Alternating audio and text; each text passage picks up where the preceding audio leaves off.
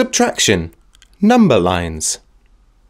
In this video, we will learn how to subtract two two-digit numbers using number lines. To use the number line to subtract, count from a number backwards. Let's look at our first example, 15 minus 7. We can use the number line to count backwards.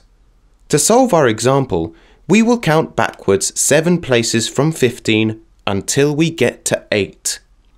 15 minus 7 equals 8. A quick way of doing this is to count backwards in jumps on a number line. We can split 7 into 5 and 2. Now let's make the jumps by counting backwards. 15 minus 5 is 10 and 10 minus 2 equals 8. The answer to 15 minus 7 is 8. Let's try another example. 74 minus 27.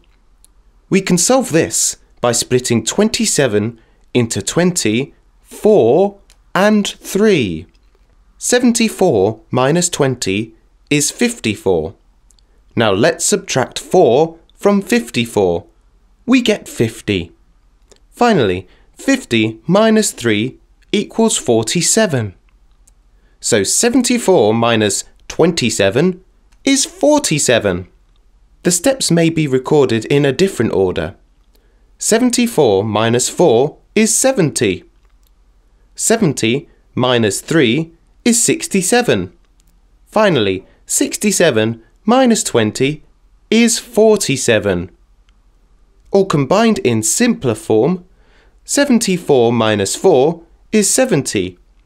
70 minus 10 is 60. 60 minus 10 is 50.